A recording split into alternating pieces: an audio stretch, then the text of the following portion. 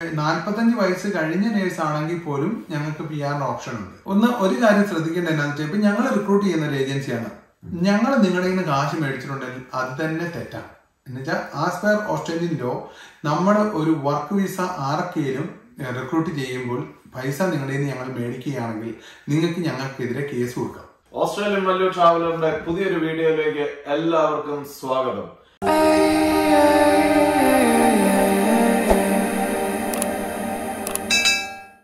അപ്പൊ ഇന്നത്തെ എന്റെ വീഡിയോ എന്ന് പറഞ്ഞു കഴിഞ്ഞാൽ നമ്മുടെ ജോമറ്റ് അതുപോലെ തന്നെ Maria. Jomet and Maria welcome to the show thank you അപ്പൊ ഇവരെ നിങ്ങൾക്ക് നേരത്തെ ഞാൻ രണ്ട് മൂന്ന് ഇന്റർവ്യൂ ചെയ്തിട്ടുള്ളതാണ്. ഓസ്ട്രേലിയയിലേക്കുള്ള മൈഗ്രേഷന്റെ പുതിയ എന്തൊക്കെ വാർത്തകളുണ്ടെന്നുള്ളത് നമുക്കൊന്ന് ഇവരോടൊന്ന് ചോദിച്ചു നോക്കാം. അപ്പൊ എന്താണ് പുതിയ ന്യൂസ് മൈഗ്രേഷനെ പറ്റി എന്തൊക്കെയാണ് പുതിയതായിട്ട് നമുക്ക് പ്രേക്ഷകരോട് പറയാനുള്ളത്? മൈഗ്രേഷനെ സംബന്ധിച്ച് ഈ ഇടയായിട്ട് കുറെ പുതിയ ന്യൂസുകൾ വരുന്നുണ്ട്. കുറെ മാറ്റങ്ങൾ വരുന്നുണ്ട്. അത് പ്രധാനമായിട്ടുള്ളത് നമ്മുടെ സ്റ്റുഡന്റ് ഇവിടെ പഠിക്കുന്ന സ്റ്റുഡൻസിനെ സംബന്ധിച്ചുള്ള കാര്യങ്ങളാണ്. ഒന്ന് നമ്മുടെ കോവിഡിന് മുന്നേ ഇവിടെ സ്റ്റുഡൻസ് വന്നുകൊണ്ടിരുന്നപ്പോൾ അവർക്ക് ഒരു ഫോർട്ട് നൈറ്റ്ലി ഫോർട്ടി അവേഴ്സ് ആണ് വർക്ക് ചെയ്യാൻ പറ്റിക്കൊണ്ടിരുന്നത്. പക്ഷേ ഇപ്പം ആ കോവിഡിന്റെ സമയത്ത് ഇവിടുത്തെ ഒരു സ്റ്റാ എന്താ പറയുന്ന ഹ്യൂമൻ റിസോഴ്സിന്റെ ഷോർട്ടേജ് കാരണം ഫുൾ ടൈം വർക്ക് അലൗഡ് ആയിരുന്നു സ്റ്റുഡൻസിന് അത് വീണ്ടും ഈ ജൂലൈ ഒന്നാം തീയതി തൊട്ട് രണ്ടായിരത്തി ഇരുപത്തി മൂന്ന് ജൂലൈ ഒന്നാം തീയതി തൊട്ട് ആ ഒരു ഒരു ക്യാപ്പ് കൊണ്ടുവരുവാണ്. അതായത് സ്റ്റുഡന്റ് ആയിട്ട് ഇവിടെ നിൽക്കുന്ന ആൾ ഫോർട്ട് നൈറ്റ്ലി നാൽപ്പത്തെട്ട് മണിക്കൂർ മാത്രം ജോലി ചെയ്യാം എന്നുള്ള റൂൾ അതായത് ഇൻക്രീസ് ചെയ്തു. അതായത് ഇപ്പം ഫുൾ ടൈം ആണ് അവർ വർക്ക് ചെയ്യുന്നത്. പക്ഷെ കോവിഡിന് മുന്നത്തെ സമയത്തിനേക്കാളും എട്ട് മണിക്കൂർ കൂടുതലാണ് കൂടുതൽ കിട്ടി. കൂടുതൽ കിട്ടി. ഓ അത് ശരി. അതൊരു അപ്പൊ സ്റ്റുഡൻസ് ആയിട്ട് വരുന്നവർക്ക് അതൊരു വലിയൊരു അനുഗ്രഹമാണ്. അതെ അതെ. ഓ വെരി ഗുഡ് അപ്പൊ അത് ഒന്ന് നോട്ട് ചെയ്തോളുക അതുപോലെ തന്നെ നമ്മുടെ യു കെ അയർലൻഡ് ഈ രണ്ട് ഭാഗത്തു നിന്നാണ് നമുക്കിപ്പോ ഏറ്റവും കൂടുതൽ മൈഗ്രേഷൻ നടക്കുന്നത് അല്ലെ? അതെ. അപ്പം അതിനെപ്പറ്റി ഒന്ന് പറയാമോ എങ്ങനെയാണ് എന്താണ് ചെയ്യേണ്ടത്? ആരെയാണ് കോണ്ടാക്ട് ചെയ്യുന്നത്? നിങ്ങളെ കോണ്ടാക്ട് ചെയ്ത് മതിയായിരിക്കുമല്ലോ. അതെ. നമ്മൾ നേഴ്സുമാരുടെയാണ് യു കെ അയർലൻഡിൽ നിന്ന് ഏറ്റവും കൂടുതൽ ഒരു മൂവ്മെന്റ് ഇങ്ങോട്ട് നടന്നുകൊണ്ടിരിക്കുന്നത് ബാക്കിയുള്ള പ്രൊഫഷനിൽ നിന്നൊക്കെ ഉണ്ടെന്ന് പറഞ്ഞാൽ അത് ലിമിറ്റഡ് ആണ്. നമുക്ക് ഒരു മാസം മിനിമം ഒരു ഹൺഡ്രഡ് എൻക്വയറി ആണ്. മിനിമം ഹൺഡ്രഡ് എൻക്വയറി ആണ് നേഴ്സുമാരുടെ വന്നുകൊണ്ടിരിക്കുന്നത് അതായത് ഈ ന്യൂസിലാൻഡ് പാത്വേ ഉപയോഗിച്ച് എനിക്ക് തോന്നുന്നു നേരത്തെ നമ്മുടെ സെഷൻസ് ഞാൻ ഓർക്കുന്നില്ല.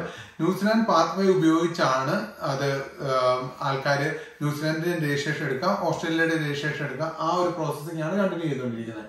അപ്പം ഇപ്പോൾ ഒരു ക്വസ്റ്റ്യൻ മാർക്ക് വന്നിരിക്കുന്നത് ഈ യു കെയുടെ യു കെ എന്ന് വരുന്ന നേഴ്സുമാര് ടെ എണ്ണം കൂടുതലായതുകൊണ്ട് ഈ ന്യൂസിലാൻഡിന്റെ രജിസ്ട്രേഷൻ എടുക്കുകയും അതൊരിക്കലും ഇപ്പൊ റിന്യൂ ചെയ്യാതിരിക്കുകയും ചെയ്യുന്ന ഒരു സിറ്റുവേഷൻ ഉണ്ട്.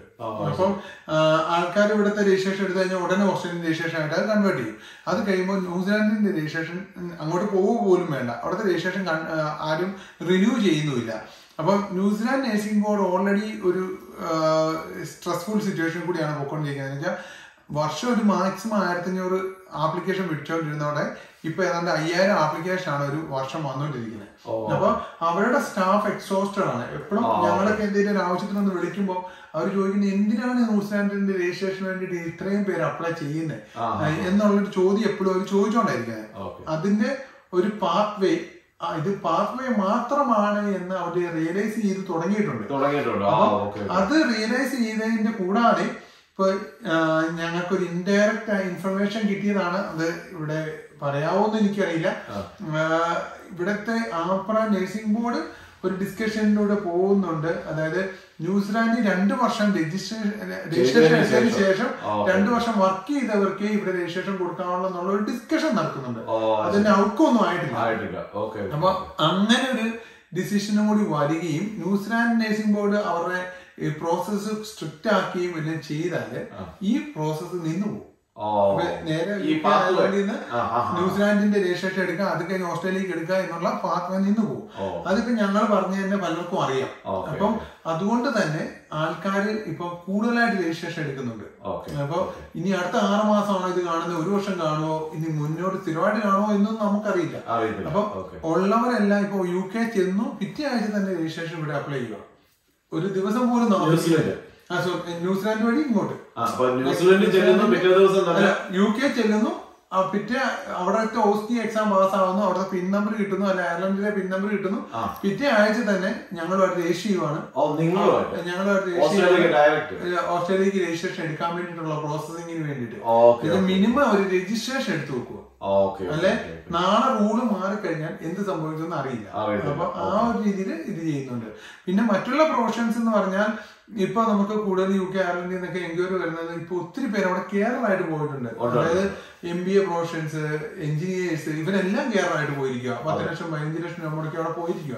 അവർക്കൊക്കെ അവരുടെ പ്രൊഫഷനിൽ ജോലി കണ്ടുപിടിക്കാൻ പറ്റുമെന്നുള്ള പ്രതീക്ഷയിലൊക്കെയാണ് അവിടെ പോയി വരുന്നത്. പക്ഷെ അവർ കേരള വിസയിലാണ് പോയിരിക്കുന്നത്. അപ്പൊ അവർ ഈ അവിടെ ചെന്ന് കഴിഞ്ഞപ്പം അവിടെ നിന്ന് എങ്ങനെ ഈ കേരള ജോബ് അവർക്ക് സൂട്ടബിൾ അല്ല എന്നുള്ള ഒരു തോന്നലൊക്കെ കാരണം അവർ അവിടെ നിന്ന് എങ്ങനെ ഇങ്ങോട്ട് മൂവ് ചെയ്യുന്നതിനെ. കുറിച്ചൊക്കെ കുറെ എൻക്വയറി വരുന്നുണ്ട്. അല്ലാതെ ഇന്ത്യയിൽ നിന്ന് ഇപ്പം നല്ല രീതിയിൽ മൈഗ്രേഷൻസ് നടക്കുന്നുണ്ട്. അതായത് ഇപ്പൊ കോവിഡിന് ശേഷം നമ്മുടെ നേരത്തെ ഒരു സെവന്റി പോയിന്റ്സ് വേണമായിരുന്നു. ഒരു വൺ എയ്റ്റി നയൻ വിസ കിട്ടാൻ ഇൻവിറ്റേഷൻ കിട്ടാൻ വേണ്ടിയിട്ട്. ആ ഇപ്പൊ സിക്സ്റ്റി ഫൈവ് പോയിന്റ്സ് ഉള്ളവർക്കൊക്കെ സ്ട്രെയിറ്റ് ഇൻവിറ്റേഷൻ കിട്ടുക എസ്പെഷ്യലി ഹെൽത്ത് പ്രൊഫഷനിലുള്ളവർക്ക് എഞ്ചിനീയേഴ്സ് സ്പെഷ്യാലിറ്റിയിലുള്ളവർക്ക് അങ്ങനെയുള്ളവർക്കൊക്കെ സിക്സ്റ്റി ഫൈവ് പോയിന്റ്സ് ഉണ്ടോ? നേരെ വൺ എയ്റ്റി നയൻ ഇൻവിറ്റേഷൻ കിട്ടുന്നത്. അല്ലെ ആ ഒരു ഇതുകൊണ്ട് കണ്ടമാനം മൈഗ്രേഷൻ എല്ലാ- രാജ്യങ്ങളിൽ നിന്നും മിഡിൽ ഈസ്റ്റിൽ നിന്നും എല്ലായിടത്തു നിന്നും വരുന്നുണ്ട്. കാരണം ഇവിടുത്തെ സ്കിൽ ഷോർട്ടേജ് കൂടുതലാണ്. അപ്പം കൂടുതൽ വിസകളാണ് ഇനി അങ്ങോട്ടുള്ള ഒരു രണ്ടു മൂന്ന് വർഷത്തേക്ക്. ഗവൺമെന്റ് പ്ലാൻ ചെയ്യുന്നത്. ഹൺഡ്രഡ് ആൻഡ് സിക്സ്റ്റി തൗസൻഡ് വിസയിൽ നിന്ന് അത് ഹൺഡ്രഡ് ആൻഡ് നയന്റി തൗസൻഡ് വിസയിലേക്ക് ഇൻക്രീസ് ചെയ്തിട്ടുണ്ട്. അപ്പം അത്രയും നമ്പർ ഓഫ് വിസകൾ അതുപോലെ തന്നെ ഓരോ ഇൻവിറ്റേഷൻ റൗണ്ടിലും കൊടുക്കുന്ന ഇൻവിറ്റേഷൻസിന്റെ എണ്ണം ഒരുപാട് കൂടുതലാണ് നേരത്തെ വെച്ച് നോക്കുമ്പോഴത്തേക്കും. ഓ അത് ശരി. അതുപോലെ തന്നെ ഇപ്പൊ കഴിഞ്ഞ പ്രാവശ്യം ഇവരുടെ വീഡിയോ കണ്ടതിന് ശേഷം എനിക്ക് തോന്നുന്ന ഒരു പത്ത് അഞ്ഞൂറ് എൻക്വയറീസ് എനിക്ക് പേഴ്സണൽ ആയിട്ട് മെസ്സേജസ് വന്നു. ഇവരുടെ കോൺടാക്ട് നമ്പർ ഇതിന്റെ ഇവരുടെ കോൺടാക്ട് നമ്പർ എല്ലാം ഈ വീഡിയോയുടെ താഴെ തന്നെ ഞാൻ തരാം. അപ്പം വാട്സാപ്പ് നമ്പർ ഉണ്ട് അല്ലേ വാട്സാപ്പ് നമ്പറിലേ ഉള്ളൂ. ഞങ്ങളെ മെസ്സേജ് അയച്ചാലേ കിട്ടുള്ളൂ. വിളിക്കാൻ നോക്കിയാൽ ഞങ്ങളെ കിട്ടില്ല. കിട്ടുന്നില്ല അതുപോലെ ബിസിയാണ് അപ്പം വാട്സാപ്പ് നമ്പർ ഈ വീഡിയോയുടെ അടിയിൽ തന്നെ ഉണ്ട്. അപ്പൊ അതിലൂടെ ജോമനെ അല്ലെ മരീനെ കോണ്ടാക്ട് ചെയ്ത് വെച്ചാൽ മതി. അപ്പൊ ഞാൻ പറഞ്ഞു വന്നത് കഴിഞ്ഞ പ്രാവശ്യം ഇവരുടെ ആ വീഡിയോ കണ്ടതിന് ശേഷം അനവധി എൻക്വയറീസ് എനിക്ക് വന്നിട്ടുണ്ട്. അപ്പം അതല്ല ഞാൻ നിങ്ങൾക്ക്. വളരെയധികം എൻക്വയറീസ് വന്നിട്ടുണ്ടല്ലോ അപ്പം അപ്പം നാട്ടിൽ നിന്നും ഒക്കെ അപ്പം വീഡിയോ നിങ്ങൾ ഷെയർ ചെയ്യണം. നിങ്ങളുടെ കൂടുതൽ സുഹൃത്തുക്കൾക്ക് ഇത് നല്ലൊരു അറിവായിരിക്കും. അതുപോലെ തന്നെ വേറൊരു കാര്യം ചോദിക്കാനുള്ളത് നിങ്ങൾക്ക് ഇവിടെ ഇപ്പം എന്തോ കോൺട്രാക്ട് ഒക്കെ ആയെന്ന് അന്ന് നമ്മൾ പറഞ്ഞായിരുന്നു. അതൊക്കെ ആയിട്ടുണ്ടോ? ഞങ്ങൾക്ക് Saint John of God hospital ഗ്രൂപ്പുമായിട്ട് national wide Australia national wide recruitment agreement ആയിട്ടുണ്ട് അത് ഞങ്ങൾ എസ് ടെ മൈഗ്രേഷൻ ഇപ്പൊ നിങ്ങൾക്ക് കാണുകയാണെങ്കിൽ ഞങ്ങൾ ടെ മൈഗ്രേഷൻ എന്ന് പറയുന്ന ഒരു കമ്പനി ഉണ്ട്. ടെ ഗ്ലോബൽ എന്ന് പറയുന്നത്. അപ്പൊ ഞാൻ അന്ന് വിസ റിക്രൂട്ട്മെന്റ് ഒക്കെ ചെയ്യാൻ ഇറങ്ങിയപ്പോൾ ശരിക്കും ഒരു കമ്പനി ഉള്ളായിരുന്നു ടെ മൈഗ്രേഷൻ ഉള്ളായിരുന്നു. അപ്പൊ ഞങ്ങൾ എസ് ടെ ഗ്ലോബൽ എന്ന് പറഞ്ഞ റിക്രൂട്ട്മെന്റ് കമ്പനി സെപ്പറേറ്റ് ആക്കി. അപ്പൊ റിക്രൂട്ട്മെന്റ് കമ്പനി ആയിട്ടാണ് ഇപ്പൊ അത് വർക്ക് ചെയ്യുന്നത്. ഗ്ലോബൽ ആണ് റിക്രൂട്ട്മെന്റ് കമ്പനി എസ് ടെ ഗ്ലോബലിന് health health scope hospital group അതായത് അറൌണ്ട് നാൽപ്പത്തി രണ്ട് ഹോസ്പിറ്റൽസ് ഉണ്ട് ഓസ്ട്രേലിയ വൈഡ് അവരുമായിട്ട് ഞങ്ങൾക്ക് എഗ്രിമെന്റ് ഉണ്ട്. Saint John of God hospital group around twenty hospitals ഉണ്ട് ഓസ്ട്രേലിയ വൈഡ് അപ്പോൾ അവരുമായിട്ട് ഞങ്ങൾക്ക് എഗ്രിമെന്റ് ഉണ്ട്. കൂടാതെ ഇപ്പോൾ പബ്ലിക് ഹോസ്പിറ്റൽസ് വിക്ടോറിയയിലെ മൂന്നാൽ പബ്ലിക് ഹോസ്പിറ്റൽ റീജിയണൽ സൈഡിലെ പബ്ലിക് ഹോസ്പിറ്റലുകളായിട്ട് എഗ്രിമെന്റ് കിട്ടിയിട്ടുണ്ട്. അവിടെ അവിടെയെല്ലാം ഞങ്ങൾ റിക്രൂട്ടിങ് ചെയ്യുന്നുണ്ട്. കൂടാതെ ഏജ് കെയർ ഗ്രൂപ്പുകളുമായിട്ട് നമുക്ക് രണ്ട് മൂന്ന് മേജർ ആയിട്ടുള്ള മൂന്നാൽ ഏജ് കെയർ ഗ്രൂപ്പുകളുമായിട്ട് നാഷണൽ വൈഡ് ഫൈനൽ എഗ്രിമെന്റ് ഡിസ്കഷനിൽ ഇരിക്കുകയാണ്. ഞാൻ കഴിഞ്ഞ ദിവസം എല്ലാം ട്രാവലിലും ഒക്കെ ആയിട്ട് അത് ചെയ്തു. അപ്പൊ അതിന്റെ അത് മെൽബണിലാണോ അതൊക്കെ ടെൻ തൗസൻഡ് ഡോളർ റീലൊക്കേഷൻ പാക്കേജോട് കൂടിയൊക്കെയാണ് നേരെ വൺ എയ്റ്റി സിക്സ് വിസ കൊടുക്കുന്ന പാക്കേജൊക്കെയാണ് വരുന്നത്. അതിന് എനിക്ക് കൂടുതൽ വിവരങ്ങൾ പറയാറായിട്ടില്ല. നമുക്കത് അവരുടെ പേരോ കാര്യങ്ങളോ പറയണം നമുക്ക് കോൺട്രാക്ട് സൈൻ ചെയ്യണം. അതുകൂടാതെ അത് കൂടാതെ മേജർ ആയിട്ട് ഇവിടുത്തെ ഒരു പബ്ലിക് ഹോസ്പിറ്റൽ ഞങ്ങളുമായിട്ട് ഒരു ഫൈനൽ എഗ്രിമെന്റിന് വെയിറ്റ് ചെയ്യുക. ചെയ്യുകയാണ്. അതിപ്പം ആ ഒരു ഹോസ്പിറ്റലിൽ വരുവാണെങ്കിൽ ഒരു ഹ്യൂജ് റിക്രൂട്ട്മെന്റ് ആയിരിക്കും നടക്കാൻ പോകുന്നത്. അത് കൂടാതെ അവർക്ക് അവരുടെ റീലൊക്കേഷൻ പാക്കേജ് എന്ന് പറഞ്ഞാൽ ten thousand relocation package thirteen thousand relocation package plus like ഒരു വർഷം അവരുമായിട്ട് കണ്ടിന്യൂ ചെയ്ത അനദർ ടെൻ തൗസൻഡ് റീലൊക്കേഷൻ അങ്ങനെ sorry another ten thousand bonus അങ്ങനെയുള്ള ഭയങ്കര പാക്കേജും one eighty six visa directly കൊടുക്കുന്ന ഒരു പബ്ലിക് ഹോസ്പിറ്റലിൽ വരുന്നത് അപ്പൊ അത് ഈ യു കെ അയർലൻഡിൽ നിന്നുള്ള നഴ്സസിനാണോ അതോ ഇന്ത്യയിൽ നിന്നൊക്കെ എവിടെയുള്ളവരാണെങ്കിലും എവിടെയുള്ളവരാണേലും രജിസ്ട്രേഷൻ ഉണ്ടായിരിക്കണം. ഓസ്ട്രേലിയൻ രജിസ്ട്രേഷൻ ഉണ്ടായിരിക്കണം. നമുക്ക്. ഒത്തിരി ഈ വീഡിയോസ് കാണുമ്പോൾ നമുക്ക് ഒത്തിരി പേര് നേഴ്സ് ഞാൻ നേഴ്സ് ആണ് അതുകൊണ്ട് വരാമോ എന്ന് ചോദിച്ച് ഞങ്ങൾക്ക് മെസ്സേജസ് വരാറുണ്ട്. നമുക്കത് ചെയ്യാൻ പറ്റില്ല. നമ്മൾ ലൈസൻസ്ഡ് ആയിട്ടുള്ള രജിസ്റ്റേർഡ് സോറി രജിസ്റ്റേർഡ് നേഴ്സ് ആണെങ്കിൽ മാത്രമേ നമുക്ക് ഇത് ചെയ്യാൻ പറ്റുള്ളൂ.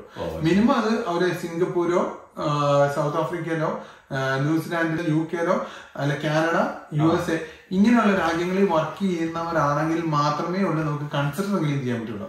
അത് അവിടെ രജിസ്റ്റേർഡ് നേഴ്സ് ആയിരിക്കണം. അല്ല അവിടെ കെയർ ആയിട്ട് കാര്യമില്ല. അല്ല അസിസ്റ്റന്റ് നേഴ്സ് ആയിട്ട് കാര്യമില്ല. അങ്ങനെയുള്ളവരെ നമുക്ക് എടുക്കാൻ പറ്റുള്ളൂ. കൂടാതെ ഇപ്പൊ നമുക്ക് ഈ പബ്ലിക് ഹോസ്പിറ്റലൊക്കെ ആയിട്ടുള്ള അഗ്രിമെന്റുകളിൽ ഫിസിയോതെറാപ്പിസ്റ്റ് ഫാർമസിസ്റ്റ് ഇങ്ങനെയുള്ള വേക്കൻസീസ് ഓഡിയോളജിസ്റ്റ് ഒക്യുപേഷണൽ തെറാപ്പി ഇങ്ങനെയുള്ള പ്രൊഫഷനിലോട്ടും കൂടിയൊക്കെ നല്ല വേക്കൻസീസ് വരുന്നുണ്ട്. പക്ഷെ അതൊന്നും ഞങ്ങൾ ഇതിന് മാത്രം റിക്രൂട്ട് ചെയ്ത് തുടങ്ങിയിട്ടില്ല. എന്നുവെച്ചാൽ അതൊക്കെ രജിസ്ട്രേഷൻ പ്രോസസ്സ് കുറച്ച് ടൈറ്റ് ആണ്. റൈറ്റ് ഓക്കെ ഓക്കെ അങ്ങനെ എഫേർട്ട് എടുത്ത് രജിസ്ട്രേഷൻ എടുത്തിട്ടുള്ളവർക്ക് ഞങ്ങളുമായിട്ട് കോൺടാക്ട് ചെയ്താൽ ജോലി കണ്ടുപിടിച്ചെടുക്കാൻ ഞങ്ങളെ സഹായിക്കാൻ പറ്റും. ആ അപ്പൊ ആ ഒരു ഇത് ചെയ്യുന്നുണ്ട്. അങ്ങനെയുള്ള അലീഡ് ഹെൽത്ത് പ്രൊഫഷണൽസിന്റെ കാര്യം പറഞ്ഞപ്പോഴാണ് ഈ one eighty six employer sponsorship വിസയ്ക്ക് സാധാരണ ഡോക്ടേഴ്സിനല്ലാതെ ബാക്കിയുള്ള അലീഡ് ഹെൽത്ത് പ്രൊഫഷണൽസിനൊക്കെ തന്നെ ആപ്രയുടെ രജിസ്ട്രേഷൻ കംപ്ലീറ്റ് രജിസ്ട്രേഷൻ ഉണ്ടെങ്കിലാണ് ഒരു എംപ്ലോയർക്ക് അവരെ സ്പോൺസർ ചെയ്യാൻ ചെയ്യാൻ പറ്റുന്നത്.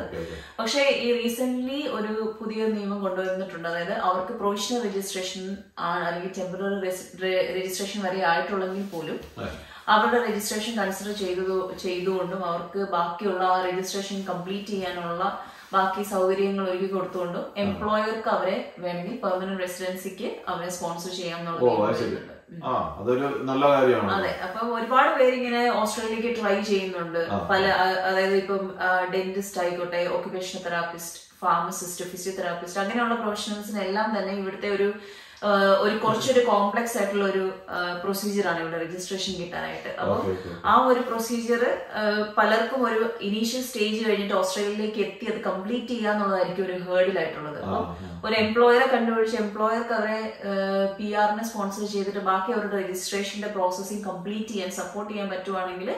ഒരുപാട് പേർക്ക് മൈഗ്രേറ്റ് ചെയ്യാൻ പറ്റും. അതുപോലെ തന്നെ ഗൈസ് എനിക്ക് വേറെ പല എൻക്വയറീസ് ഈയിടെ വന്നത് മുഴുവൻ അത് ഈ ഒരു കുറച്ച് നാളുകളായിട്ടാണ്. ഒത്തിരി പേര് പൈസ പറ്റിക്കപ്പെട്ടിട്ട് നമ്മുടെ നാട്ടിൽ നിന്നാണ് എക്സ്പെഷ്യലി ഇങ്ങനെ എന്നോട് ചോദിക്കുന്നുണ്ട് ഇന്ന ഇവരെ അറിയാമോ?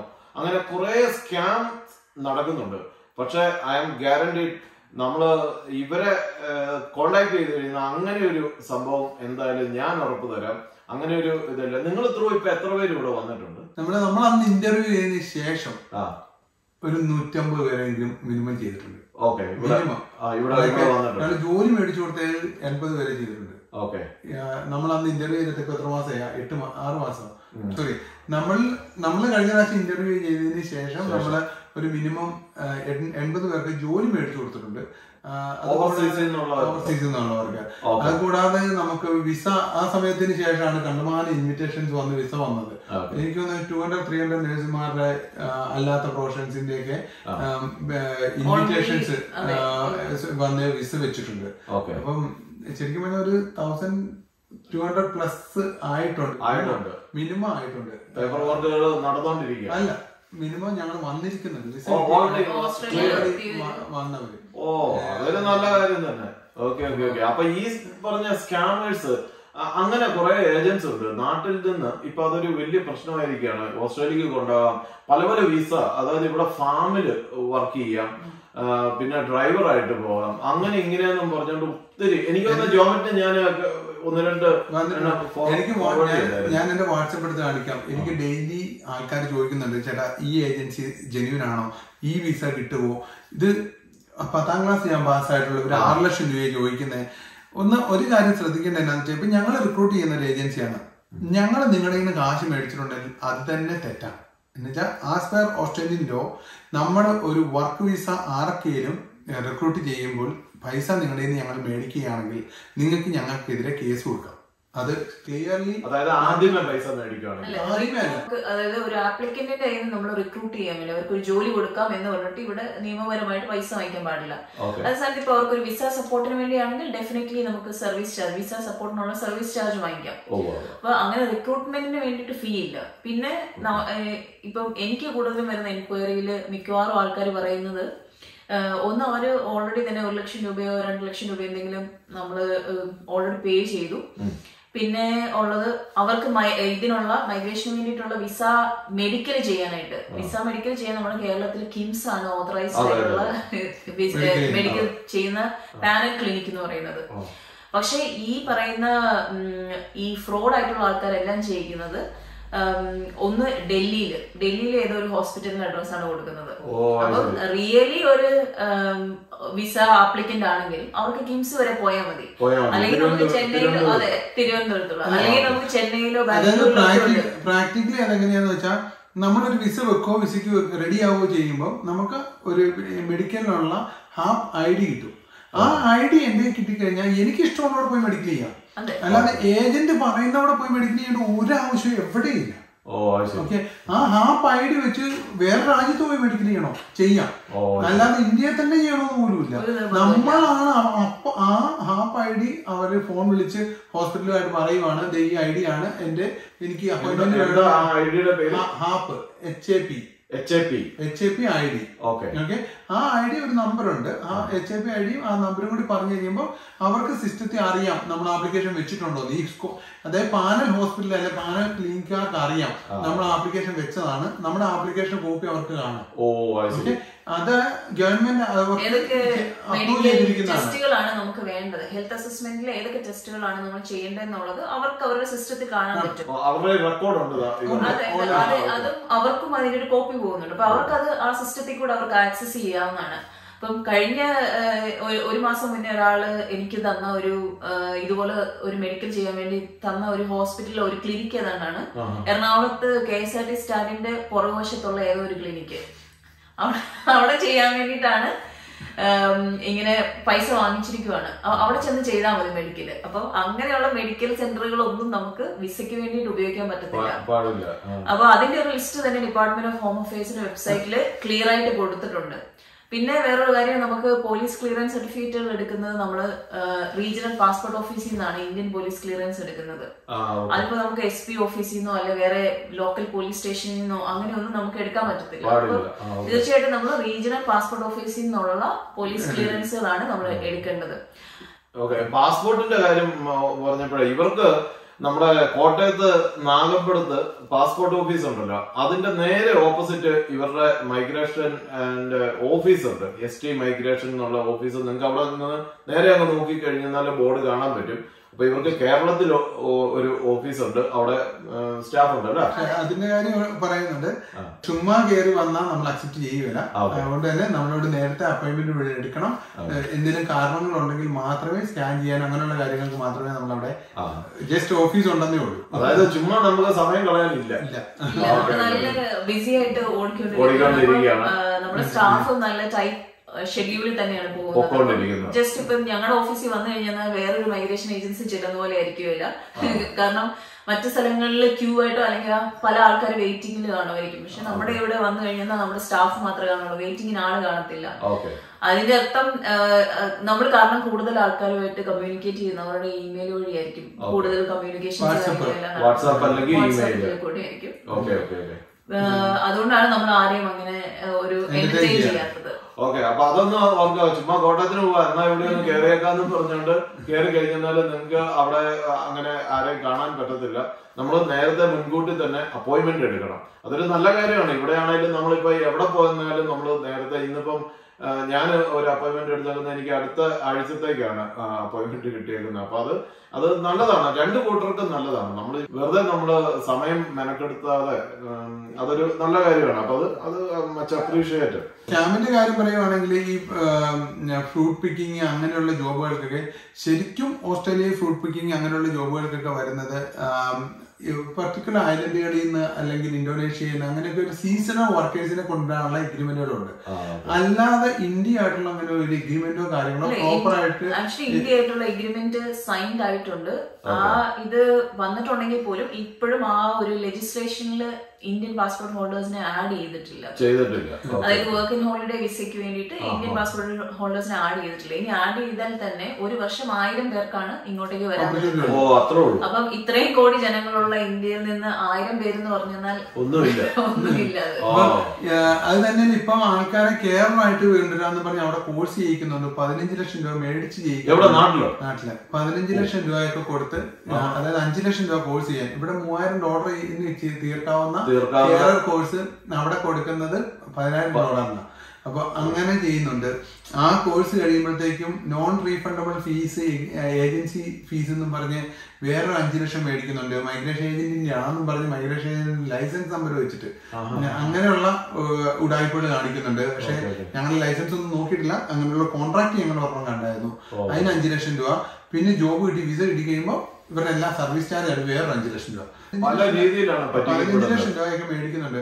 എന്നിട്ട് ഇവിടെ കൊണ്ടുവരുന്ന വിസ എന്ന് പറയുന്നത് four zero eight four zero seven ഈ വിസയ്ക്ക് ഉള്ളതാണ് ഈ രണ്ട് വിസയും ഉള്ളതാണ് പക്ഷെ പെർമനന്റ് റെസിഡൻസി അല്ല വർക്ക് വിസയും അല്ലത് ഈ ഫോർ സീറോ സെവൻ എന്ന് പറഞ്ഞാൽ ട്രെയിനിങ് വിസയാണ് അപ്പൊ ട്രെയിനിങ്ങിന് വേണ്ടിയിട്ട് ഒരു വർഷത്തേക്ക് ഒരു അല്ലെ രണ്ടു വർഷത്തേക്ക് ഒരു പർട്ടിക്കുലർ ഫീൽഡിലേക്ക് ഒരു പർട്ടിക്കുലർ കോഴ്സിന് അല്ലെ പർട്ടിക്കുലർ കാര്യത്തിന്റെ ട്രെയിനിങ്ങിന് എംപ്ലോയറിന് കൊടുക്കാവുന്ന ഒരു വിസയാണത്.